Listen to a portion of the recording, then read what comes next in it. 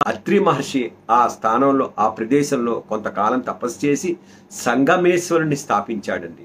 అందుకనే సంగమేశ్వరం అంటారు. అదే ఆ ఊరే సంగం జాగర్లమూడి గుంటూరు తెనాలి మధ్యలో ఉందండి సంగం జాగర్లమూడి అద్భుతమైన క్షేత్రం. ఆ చక్కటి పురాతనమైన దేవాలయం. ఈ దేవాలయంలో విశేషం ఏంటంటే అండి మనం వెళ్ళగానే నంది మనకు ఎదురుగా ఉంటాడు. స్వామివారు సంగమేశ్వరుడు తూర్పు ముఖంగా ఉంటారు. కుడివైపు మరి విఘ్నేశ్వరుడు కనిపిస్తుంటాడు ఎడం వైపు కాశీ విశ్వేశ్వరుడు దర్శనమిస్తుంటారు